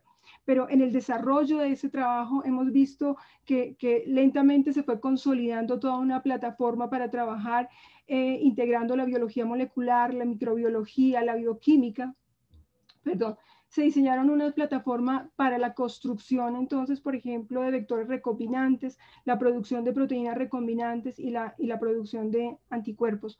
Normalmente lo hacemos para nosotros, para nuestros, nuestra investigación, nuestro foco, pero esta situación de pandemia realmente exigía que nosotros mirásemos un poco afuera y realmente fue un sacudón. Eh, al ver que nosotros no somos, eh, realmente dependemos mucho de lo que importamos. Tenemos las capacidades para, para eh, producirlo. Tenemos realmente capacidades no solamente, esencialmente capacidad humana, ¿cierto? Los recursos son limitados, pero cuando la capacidad humana en principio existe, eh, sobre esa limitación pueden salir cosas lindas, como toda esta tarde hemos escuchado de, los, de, mis profesores. Entonces, se me hace, eh, fue muy interesante, digamos que de alguna forma, entre comillas, podemos decir una cosa buena que trajo esta pandemia, fue que eh, nos obligó a mirar un poco fuera de la universidad, fuera de nuestros laboratorios y mirar cómo podíamos contribuir en esta situación. Entonces, utilizando esa, esa plataforma ¿no? para producir recombinantes y anticuerpos, el planteamiento, ¿cierto?, fue y de alguna forma buscando cómo poder ayudar, cómo poder en práctica eh, esa, esa experiencia que tenemos al servicio de la situación. Entonces, nos vimos, nos vimos eh, en el campo de que había eh, los sistemas de diagnóstico realmente son muy importantes porque pueden direccionar cómo, eh, cómo debemos regirnos ante, ante, el, ante el virus, ¿no? ante, ante esta pandemia. Eh, y los sistemas de diagnóstico fueron escasos, los insumos para construirlos fueron escasos y nuestro país tiene recursos limitados. Por eso, desde nuestro punto de vista, fue cómo podemos ayudar a eso.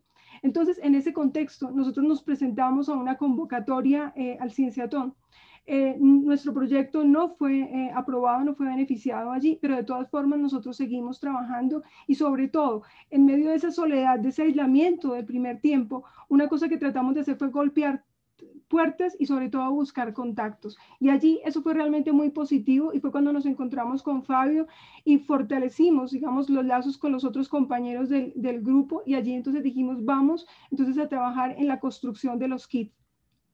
En ese contexto, ¿cierto? Entonces, producir proteínas recombinantes y anticuerpos realmente va muy bien. Miren ustedes, en principio, solamente quiero con esta diapositiva muy corto recordarles entonces los tipos de test que se realizan o que se utilizan para poder eh, diagnosticar no solamente el COVID, ¿sí? sino cualquier, en principio, cualquier virus. Eh, lo que quiero decir es que esto que estamos desarrollando no solamente se aplica al COVID, sino que podemos extrapolarlo a otros, a otros, a otros virus, a otros sistemas de detección y de alguna forma ganar campo, ¿cierto? Como, eh, y autonomía en la producción de estos, de estos recursos. Entonces, miren ustedes en principio cómo cuando hablamos de test rápido, ¿cierto? Tenemos entonces que normalmente en rápido realmente es porque es de minutos, ¿cierto? Miren ustedes más o menos de 15 a 30 minutos. Comparado, comparado con el sistema de PCR, ¿cierto? Que más o menos son cuatro horas, si no se utiliza el buffer de Mauricio Urquiza, ¿cierto? Entonces, eh, este test rápido se eh, concentra en la detección de las proteínas del virus, es decir, es un test de antígeno, ¿no? Eh, el otro, el, test eh, referencia, es el test de PCR, ¿cierto? Él detecta, entonces el material genético del virus detecta el RNA. El test em, serológico, es, perdón, es la otra aproximación. Y el test serológico eh, lo que está detectando son las proteínas que genera, ¿cierto?, el virus en el infectado. Es decir, lo que está detectando es un, un, test de anticuerpo, ¿cierto? Entonces allí se detectan las IgM o las IgE dependiendo de la ventana o el momento, ¿cierto?, que, que tenga el desarrollo de la, de la, de la enfermedad. Como ustedes pueden ver, ¿cierto? Entonces tenemos todos, ¿cierto? Tienen ventajas y desventajas. Realmente el de referencia, ¿cierto? El test de PCR es porque, porque realmente no, no presenta tantos falsos negativos, porque en principio tiene muchísima más em, exactitud, ¿cierto? En, en sus resultados. Pero una desventaja que tiene es que exige que, tenga personal especializado y equipos robustos. Los otros dos, ¿cierto? Dependiendo de cómo sea el uso, de cómo sea el diseño del ensayo, porque puede ser un diseño de cromatografía, de, de eh, inmunocromatografía, o puede ser eh, una ELISA, ¿cierto? Entonces, eh, reduce esa, esa, exigencia del, del test de referencia. Muchas veces, y coloco esta diapositiva porque en principio se me hace interesante, uno pregunta cuál es mejor. Yo pienso o cuál es peor o cuál es más válido. Yo pienso que en principio todo depende de cuál sea el objetivo que tengamos. ¿sí? Y en principio el momento en que se aplique. Eh, hay muchos test de anticuerpos, pero no todos los test de anticuerpos son iguales. Hay muchos test que van a, determinar eh, antígenos, ¿cierto? Y no todos eh, son iguales. Entonces, hay muchos test también que están orientados a la amplificación o al PCR. Y depende de qué es lo que se amplifique, lo que le da validez, ¿cierto? Lo que lo puede en principio deshabilitar con el tiempo, ¿cierto? Por la mutación que puede traer el virus. Entonces, estos permanentemente, ¿cierto? Se están, se están produciendo y pueden ser válidos dependiendo del objetivo y el momento del uso. Aquí ustedes pueden ver la línea azul, ¿cierto? Nos presenta entonces la cinética en el momento en el cual se presenta el RNA y la proteína viral. Entonces miren ustedes desde el momento cero, ¿cierto? Desde el primer contacto del individuo con el virus. Entonces miren ustedes cómo inmediatamente la carga viral, ¿cierto? Comienza en principio a aumentar entonces, en estas primeras fases sería posible, ¿cierto?, hacer un reconocimiento de PCR, aunque la carga fuera baja, si se aumenta la sensibilidad, e igualmente también em, reconocimientos rápidos, ¿cierto?, que fueran contra el antígeno, es decir, las proteínas del virus pero no sería irrelevante hacer una que fuera entonces contra eh, las inmunoglobulinas, ¿cierto? Es decir, contra las proteínas que ha diseñado, porque esas se producen 14 días después. Entonces, esto simplemente lo traigo para que ustedes vean en principio que las pruebas, ¿cierto? Son válidas de antígeno o de PCR, en principio lo relevante es saber cuál es el momento en que se utilizan y para qué. Teniendo cuenta, ¿cierto?, los diferentes tipos de pruebas y teniendo cuenta la experiencia que nosotros tenemos, entonces, digamos, como productores de proteínas recombinantes, ¿cierto? Entonces, aquí pueden ver ustedes, tenemos de alguna forma resumido cuál es el protocolo, el protocolo general del test molecular. Miren ustedes que se fundamenta en el aislamiento del genoma viral, que es un RNA, como ya señalaron mis compañeros, y allí lo, lo, lo lo especial, lo novedoso es que se debe proteger el RNA, porque comparativamente con el DNA, el RNA es mucho más inestable. ¿sí? Entonces, lo que normalmente se utiliza es el inhibidor de las RNAsas. Mauricio tiene esta, esta innovación, este, este acercamiento tan novedoso que es utilizando eh, eh, compuestos, un, buffer, ¿cierto? Compuestos químicos. Pero lo que se utiliza normalmente todos son los inhibidores de RNAs. En ese contexto, nuestro grupo entonces produjo las, proteínas, ¿cierto? La proteína que es inhibidor de RNAs. Eh, el segundo paso del test molecular eh, involucra, ¿cierto? La reversa transcripción, es decir, la conversión del RNA, donde estoy, en, proteína, en DNA. Esa conversión lo hace una enzima que se llama la reversa transcriptasa. Igualmente están los kits de biología molecular y nuestro laboratorio lo pudo producir a partir de un sistema heterólogo en E. coli.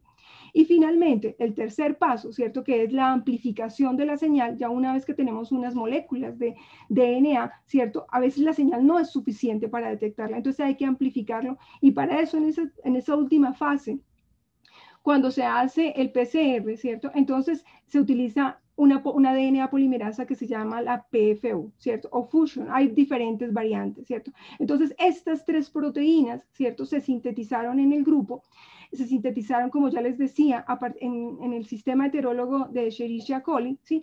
Y se utilizaron gracias, ¿cierto? Miren ustedes que siempre es bueno recordar, ¿cierto? Los, los, viejos, los viejos tiempos y tener eh, el corazón también en, en, lo, en, en nuestra alma mater. Eh, gracias a, la donación de eh, John Rivera, un egresado de nuestra facultad del Departamento de Química, él eh, donó, ¿cierto?, los, los vectores que tenían entonces los genes que codifican para estas proteínas. A partir de ello, nuestro laboratorio lo que hizo fue transformarlo en el sistema de E. coli y expresarlos. Se purificaron eh, estas proteínas utilizando técnicas básicas de biología molecular, de, bioquímica, cromatografías, ¿cierto? Eh, precipitaciones, eh, utilizamos calor, técnicas básicas que en principio en nuestro laboratorio son rutina.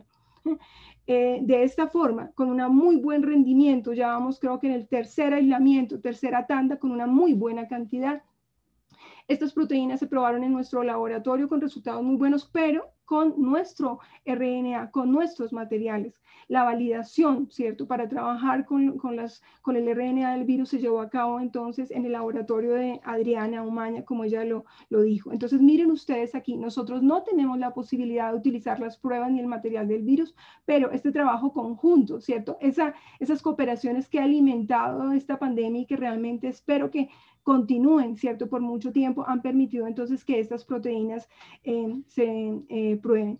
Una cosa relevante de esto también es que miren ustedes cómo eh, el hecho de que nosotros podamos producir estos insumos, ¿cierto? Que son básicos para la creación, del, la creación o la formación del, test eh, molecular, ¿cierto? Reduce muchísimo los costos. Más o menos, qué sé yo, 100 microlitros de una enzima de estas cuestan 2 millones, 2 millones y medio, ¿sí? Entonces, en la producción de esta recombinante estuvo muy por arriba de los, del nivel de los mililitros, ¿no? Entonces, realmente la economía es muy, muy grande. Ese fue nuestro primer aporte. Pero también, ¿cierto? En los test rápidos, en los test que involucran, ¿cierto? El uso de los antígenos, esa también fue nuestra participación y allí, digamos que pudimos combinar realmente toda la experiencia que tenemos. Entonces tenemos eh, que se pueden abordar de dos formas dependiendo, utilizar los anticuerpos y las proteínas recombinantes dependiendo, ¿cierto? De la forma en que yo los quiera visualizar, de que yo lo, de que quiera hacer la detección. Miren ustedes cómo es posible, ¿cierto? Utilizarlo entonces para hacer inmunocromatografías en un test muy sencillo, ¿cierto? Que cualquier en persona en principio lo puede, sin tener una capacitación de un equipo robusto, lo puede realizar. Entonces se pueden hacer esos acercamientos e igualmente con un poquito más de infraestructura, ¿cierto? Pero no tan robusta como el molecular, eh, se pueden utilizar en ELISAs. Entonces, eh, teniendo en cuenta eso, que íbamos a hacer unos, unos, unos test rápidos, ¿cierto? Ese era nuestro segundo acercamiento, y aprovechando la, la interacción, ellos se fundamentan en la interacción antígeno-anticuerpo, nosotros dijimos, ¿cuál será nuestro antígeno? ¿Cuál podemos seleccionar el antígeno? Aquí ven, esto, ven ustedes esta, esta, esta figura, esta figura tan conocida y tan, tan familiar para todos que es el coronavirus. ¿Cuáles serían las proteínas en la parte inferior? Miren ustedes todas las proteínas que él lo constituyen, algunas proteínas estructurales y algunas proteínas metabólicas. Entonces, ¿en qué, qué hicimos nosotros? Mirar lo que los otros ya habían hecho, ¿cierto? Los que, los que en principio en China, en Europa, los que tuvieron la ventaja de infraestructura, ¿sí? Aprovechar de, de, de, la, la, de la, información que ellos, de lo que ya habían sondeado y escoger de ahí, en principio, lo que fue, lo que es lo mejor, lo que se ve más promisorio. Seleccionamos, como dijo Mauricio, Spike, ¿cierto? La, Spike es la proteína de la espícula, es la proteína que permite la interacción con el receptor en las células eh, del mamífero, en nuestras células. Entonces, seleccionamos esa proteína y en principio no eh, la, eh, construcción del recombinante y la producción de los anticuerpos no se enfocó a la totalidad, a la proteína completa, porque es muy grande sino que lo seleccionamos, ¿cierto? ¿Cuáles eran las regiones que tenían entonces mayor inmunogenicidad? Y combinamos entonces en principio regiones que fueran en principio más específicas, más expuestas, ¿cierto? Em, en principio más, más conservadas, ¿cierto? En, en, los organismos. Entonces, tenemos en principio tres proteínas a la fecha que ya han sido clonadas y expresadas con excelentes resultados y en ellas, ¿cierto? Estamos, entonces ustedes pueden ver aquí tres proteínas del, del em, perdón, tres fracciones o dominios o segmentos, ¿cierto? De la proteína S, ¿sí? Em, y tenemos también eh, que nosotros eh, en aras, digamos que poder tener una herramienta para capturar al virus, ¿cierto? Eh, también clonamos la proteína, de, una parte de la proteína del receptor, de la, proteína ACE2 del receptor humano. Entonces, con estos insumos, ¿cierto? Nosotros hicimos anticuerpos. Esos anticuerpos, entonces, eh, bueno, para poder llegar a cabo la producción de la proteína, tuvimos entonces a partir de eh, material genético del virus hacer la amplificación, hicimos la clonación, eh, se construyeron los vectores, ¿cierto? De cada uno de estos constructos, se expresaron en el sistema de E. coli y se inocularon en el sistema aviar. Eh, ese, sistema ha sido un, caballito de batalla para nosotros, tenemos experiencia en el sistema aviar, eh, los anticuerpos se obtienen en una alta cantidad, tanto en la sangre de las gallinas como también en los huevos. Cada huevo podríamos decir que es una minita eh, de oro y los anticuerpos se purifican a partir de las, de las yemas. ahorita vamos en la tercera inoculación y en principio apenas estén comenzaremos a, evaluar los, los sueros. Eh, hace poco tuvimos la oportunidad de evaluar a, la a una de las proteínas eh, recombinantes que nosotros eh, producimos. Se evaluaron, se testaron contra algunos sueros y fue realmente muy, muy em, alentador ver que tienen respuesta con las pruebas positivas, con sueros positivos. Bueno, Miren ustedes, lo que he comentado hasta aquí es crear toda una gran cantidad de proteínas recombinantes y de anticuerpos. Anticuerpos que hasta el momento, esos los de gallina se, se conocen como los IgGs. Eh, son, se sintetizan entonces en gran cantidad, ¿cierto? Son estables y eh, los podemos decir de alguna forma que en el momento nosotros tenemos una caja de Lego, ¿sí? Porque eh, con ellos, con todas estas proteínas recombinantes, con los anticuerpos, ¿sí? Ahorita comenzamos con la fase de, de, conjugación de algunos de ellos, podremos entonces diseñar, ¿cierto? Diferentes pruebas. No solamente la prueba de antígeno, ¿cierto? Que esa fue la que nos dio eh, eh, como, como buenas noticias con relación a los sueros positivos. Hay que trabajarle porque hasta ahora estamos comenzando con eso, con las pruebas en, con sueros pero por otro lado, eh, también igualmente los otros sueros nos permitirán entonces eh, hacer eh, reconocimiento, Dios mío, reconocimientos de, no las de anticuerpos, sino también las de antígeno. Entonces, se podrán combinar. espero que, algo muy positivo, muy alentador para, para el país pueda salir de allí de bajo costo y que en principio sea una evidencia de que podemos hacerlo ¿cierto? Y de que sobre todo el trabajo en equipo, ¿cierto? En equipo eh, cuenta. Eh, aquí entonces quiero, no, todo, no todos mis estudiantes,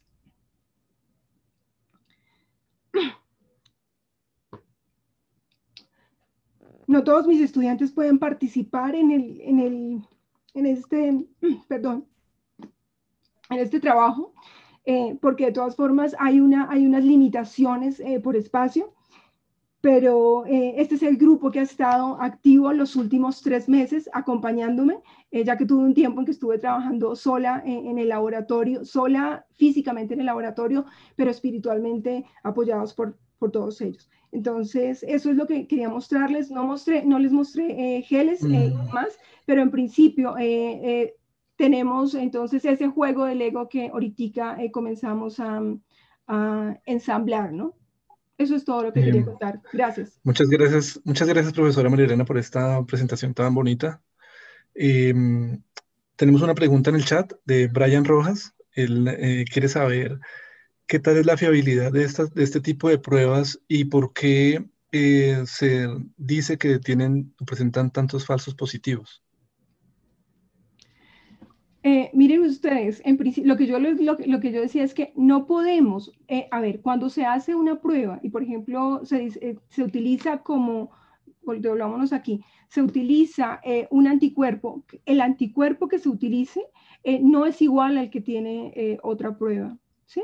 ¿Sí? Me explico, hay diversidad en eso. Cada, de, los, de las 22 eh, pruebas que hay de test rápido, ¿cierto? Si uno las evalúa, cada una tiene eh, un porcentaje de, sensibilidad y de fiabilidad eh, diferente. Hay que contrastarlos también naturalmente y muchos estudios, yo creo que se llama el de Bragan, Bragan un estudio de Bragan, que han hecho, han hecho como recopilación de todos los datos utilizando poblaciones muy, muy grandes y contrastándolos. Sí, hay falsos positivos, sí, hay falsos negativos. Incluso en los de PCR a veces hay falsos negativos. Todo depende eh, de la carga. Entonces, eh, hay que, hay que trabajar y tratar de optimizar. Eh, como digo, aquí tenemos eh, el Lego, habrá anticuerpos que sean promisorios y habrá otros en principio eh, que no lo sean, que puedan tener un reconocimiento, por ejemplo, cruzado con otro, con otro tipo de virus. Pero yo pienso que, que, cada uno de nosotros debe desde su, desde su contexto, desde su mundo, tratar de hacer lo que pueda para para eh, apoyar al desarrollo de, la biotecnología y al desarrollo eh, en nuestro país. ¿no? Entonces, no podemos saber qué tan buenas son las cosas si en principio no las, no las em, evaluamos. Eh, tal vez una cosa adicional que me faltó comentar es que paralelo a la producción de los anticuerpos aviares, eh, nosotros estamos, y esas plataformas recombinantes y aviares están, eh, son sólidas y tenemos experiencia en eso, pero paralelo, eh, estamos desarrollando también la producción de anticuerpos recombinantes. ¿Sí? Entonces, por lo menos yo espero que apenas tengamos la oportunidad de tener ratones, ¿sí?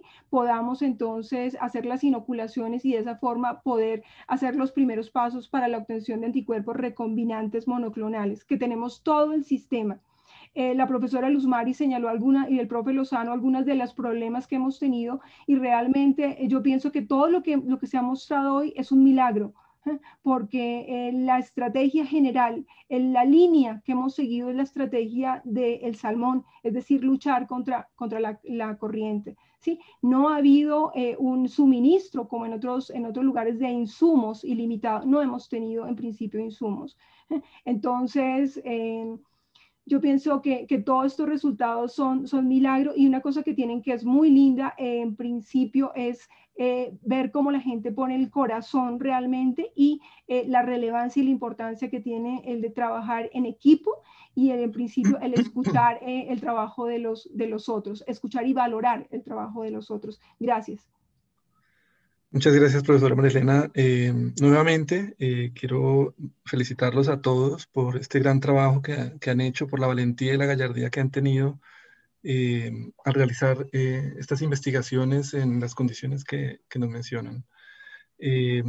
yo voy a dar por terminada el conversatorio. un aplauso de mi parte para todos y muchas gracias por contribuirle a esta nación de esta manera. Con gusto. Que todos estén muy bien. Hasta luego. Hasta luego. Hasta luego. Muchísimas gracias, muy amables. Hasta luego. Hasta luego, que les vaya muy bien.